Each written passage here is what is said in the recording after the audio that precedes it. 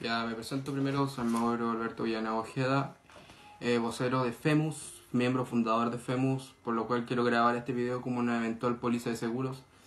El día de hoy yo participé activamente en las actividades que se realizaron en las afueras de la San Sebastián, donde hubieron guardias que nunca hemos visto al interior de la U que agredieron con gas pimienta a las compañeras.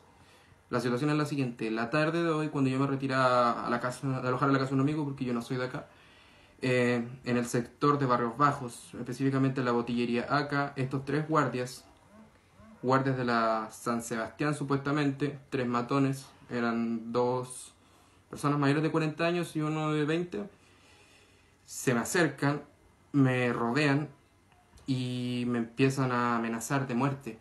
Me empiezan a decir que soy choro detrás de las rejas, pero frente a frente no soy choro. Yo les dije que eran unos delincuentes de mierda que andaban agrediendo a las compañeras.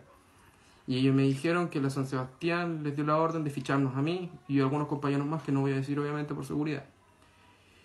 En este vídeo quiero ser sumamente claro y conciso. Quiero dejar en constancia de que yo, en un caso de me llega a pasar algo, quiero responsabilizar directamente a la Universidad San Sebastián por mi integridad física, por mi vida y por cualquier cosa que me pase. Porque yo no tengo ningún ánimo de suicidarme, como lo hacen con distintos dirigentes sociales. Yo no me creo dirigente, pero soy alguien que hace, que hace ruido. Y eso, y eso